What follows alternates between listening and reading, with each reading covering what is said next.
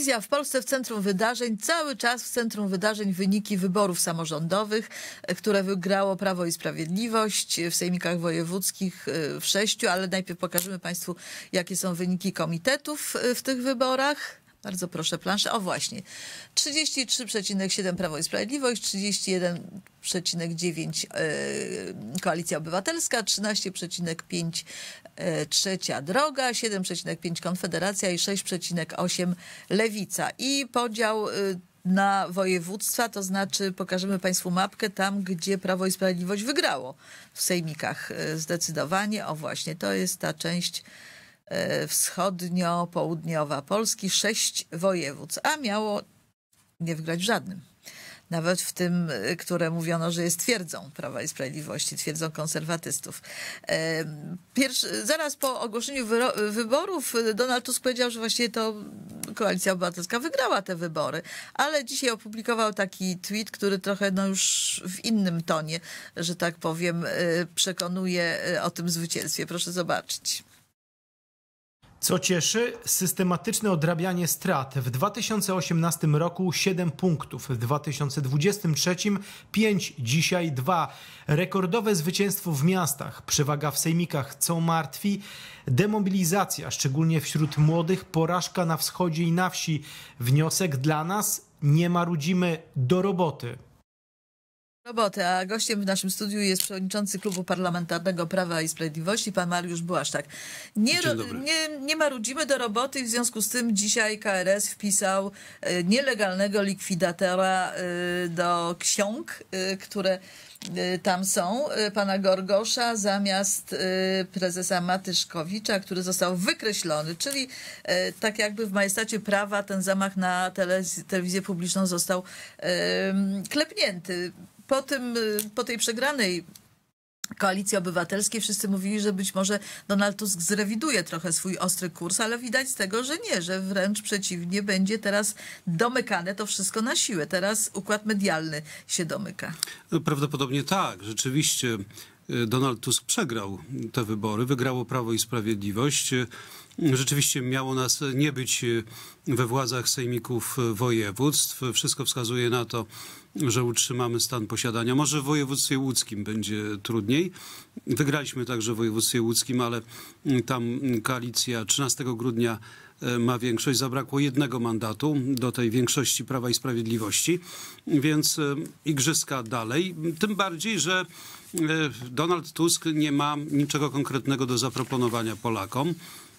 A wręcz skompromitował się e, tym, że ze 100 konkretów, e, które zapowiadał na 100 dni, nie zrealizował w zasadzie, zrealizował może 10% i to też jest naciągana mm, ocena.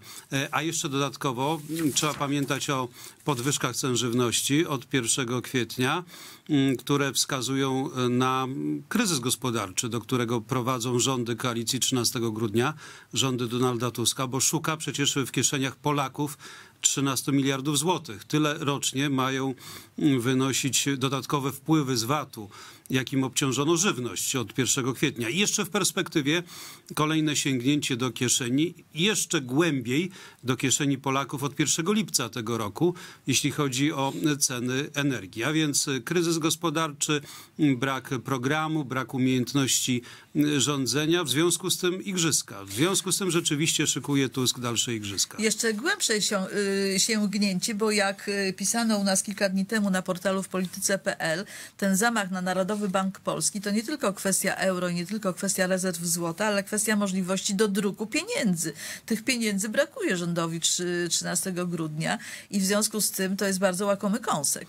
A rzeczywiście przypominamy sobie taśmy prawdy, m, które tygodnik y, wprost y, m, opublikował przed 2015 rokiem. M, Rozmowy prezesa NBP-u ówczesnego Marka Belki z ministrem spraw wewnętrznych ówczesnym, dzisiejszym ministrem kultury, podpułkownikiem Sienkiewiczem na temat wykorzystania Narodowego Banku Polskiego m, w walce politycznej e, po stronie Platformy Obywatelskiej.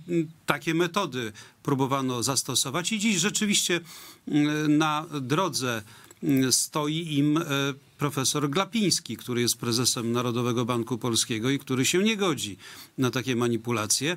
Mm, ale mm, trzeba też powiedzieć wprost, że profesor Glapiński poprzez umiejętną politykę fiskalną mm, doprowadził do zdławienia inflacji w naszym kraju, a podwyżka e, cen żywności w związku z opodatkowaniem VAT-em doprowadzi do podwyższenia inflacji. Zresztą jeden z naszych posłów, a dokładnie pani poseł pani poseł Koc w odpowiedzi na interpelację otrzymała e, czarno na białym z podpisem wiceministra finansów e, taką oto informację, że do jednego punkta procentowego wzrośnie inflacja jako rezultat właśnie obłożenia żywności podatkiem VAT. Więc no, mamy do czynienia z taką oto sytuacją, e, w której no, rząd Donalda Tuska dalej będzie te, te swoje procedery mm, wykonywał, e, niezgodne z prawem. Zresztą to trzeba bardzo mocno podkreślić. E, to jest,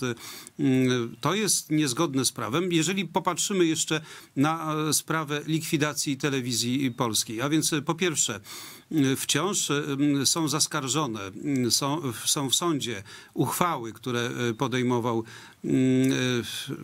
Bartłomiej Sienkiewicz jako minister kultury i dziedzictwa narodowego, a więc jeszcze nie zapadły.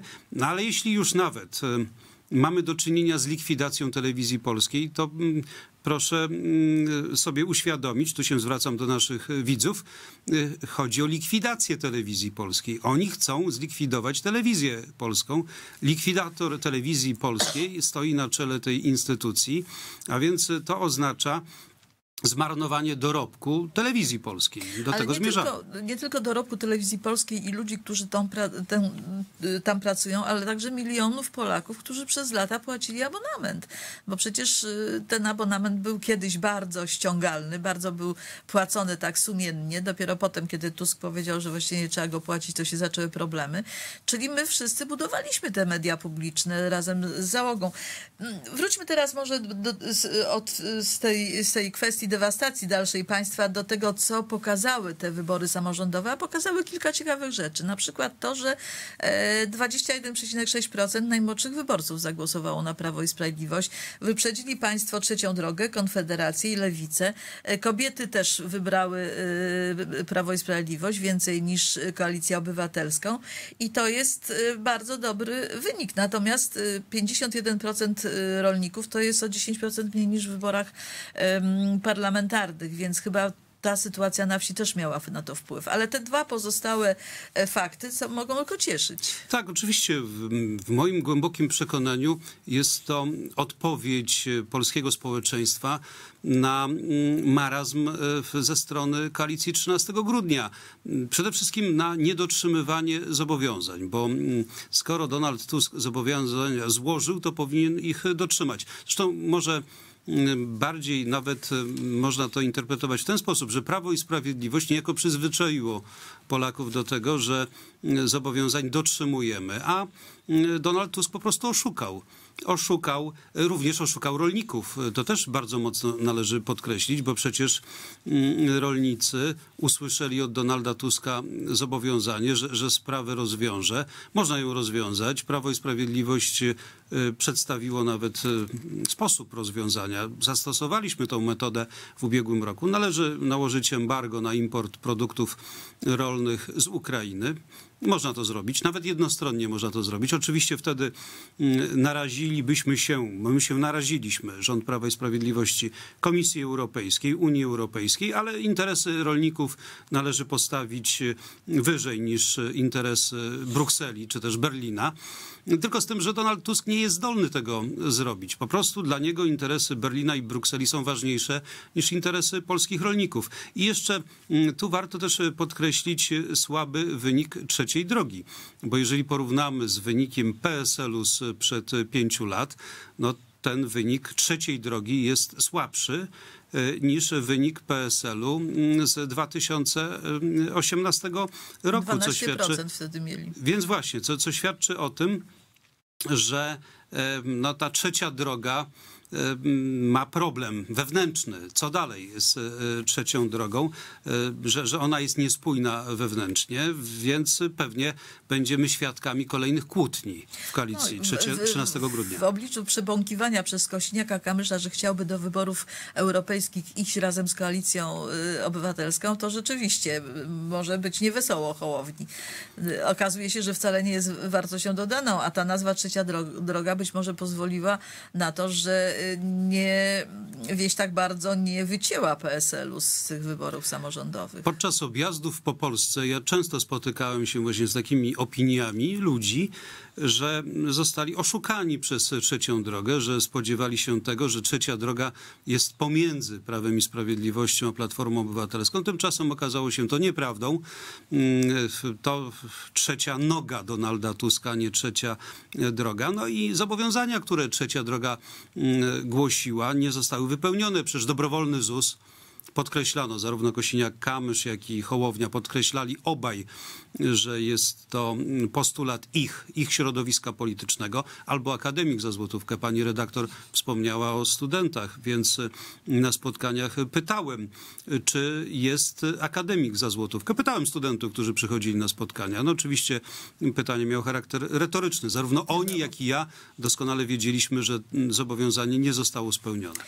Panie ministrze, wybory samorządowe zostały przez Prawo i Sprawiedliwość wygrane, więc pewnie nie ma, nie, nie, nie ma co teraz y, zastanawiać się nad tym, jak to się stało. No niektórzy mówią, że dlatego, że ta kampania była pozytywna i oparta na argumentach. Też wa- Państwa propozycje projektów, które e, zostały złożone do Sejmu, które e, tak jakby e, wzięły się z niedotrzymanych konkretów. Tak. Donalda Tuska też pewnie swoje zrobiło, no i y, wytrwała praca w terenie. Ale to już zostawmy y, analizie politologów i, wewnętrznych, i wewnętrznej analizie partyjnej, ale jest przyszłość przed nami, wybory europejskie. One z jednej strony dla PiSu są łatwe, dlatego że jest tak wiele problemów związanych z Unią Europejską, a szczególnie te, które y, są przez rolników poruszane, ale z drugiej strony też są trudne, dlatego że cała machina ym, propagandowa, ale też wsparcie z zagranicy pójdzie na wsparcie właśnie tych, którzy chcą centralizacji Unii Europejskiej, którzy chcą wprowadzenia Zielonego Ładu. Więc y, czy państwo już mają jakąś strategię na te wybory?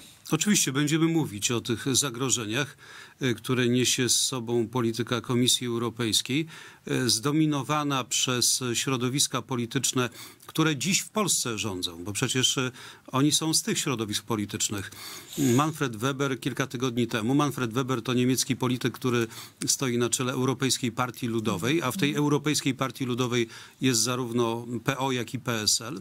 Mówił, że Zielony Ład to jest program Europejskiej Partii Ludowej. Zielony Ład, e, który, jeżeli zostanie wdrożony, doprowadzi do katastrofy e, polskie rolnictwo, a więc zagrozi bezpieczeństwu żywnościowemu naszej ojczyzny, ale także doprowadzi do katastrofy kieszenie zwykłych Polaków, bo mm, będzie, mm, będzie skutkował tym, że wzrosną ceny e, energii. A więc odejście od Zielonego Ładu to jest e, sprawa podstawowa.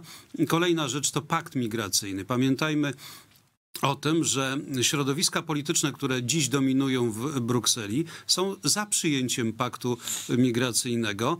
Mm, Pakt migracyjny, pani mm, komisarz Johansson, która jest komisarzem e, do spraw migracji, mówi publicznie o tym, że 4,5 miliona przybyszów z e, Afryki Północnej i z Bliskiego Wschodu Europa ma rocznie przyjmować, a pakt migracyjny ma ich rozdzielać do poszczególnych e, państw, więc e, trzeba się temu wyraźnie sprzeciwiać. Nie sprzeciwi się e, temu ani PO, ani PSL, ani Lewica, bo oni mm, akceptują te rozwiązania. Nawet jeżeli teraz może się od nich dystansują, ale dystansują się e, tylko w kampanii wyborczej. Więc o tych zagrożeniach będziemy mówić i będziemy mm, też mm, bardzo mocno podkreślać, że kiedy my rządziliśmy, na to się nie godziliśmy. I tym skończymy naszą rozmowę. Niespełna trzy miesiące do wyborów europejskich, więc powtórzę za Donaldem Tuskiem. Do roboty. Nic innego nie pozostaje. No tylko Donald Tusk e, mówi, a nie robi. Natomiast Prawo i Sprawiedliwość, e, nasze osiągnięcia są bezsporne, jeżeli chodzi o wzmocnienie mm, bezpieczeństwa naszej ojczyzny, a więc to wszystko, co związane jest Ale z trzeba rozwojem przypominać wojska. Polakom o tym, panie ministrze, bo czasami pa- pamięć była krótkotrwała i zawodna. Tak, to prawda. I wzrost gospodarczy to też jest bardzo ważne. Mm, Za naszych czasów y, obniżaliśmy podatki, bo przecież mm, to, że mm, do mm, końca marca mm, nie było podatku VAT na żywność, to jest No zasługa właśnie. Prawa i Sprawiedliwości. I Trzeba to, że nie było podatku na, e, że, był, że były ceny regulowane energii, to też Mhm. jest zasługa Prawa i Sprawiedliwości. Ale to już było i nie wróci na razie. Dziękuję bardzo. Mariusz Błaszczak, przewodniczący Klubu Parlamentarnego Prawa i Sprawiedliwości był Państwa i moim gościem. Bardzo dziękuję. Bardzo panie dziękuję. Przewodniczący, panie ministrze, do zobaczenia wkrótce. A my, proszę Państwa, spotkamy się za chwilę. Proszę z nami zostać.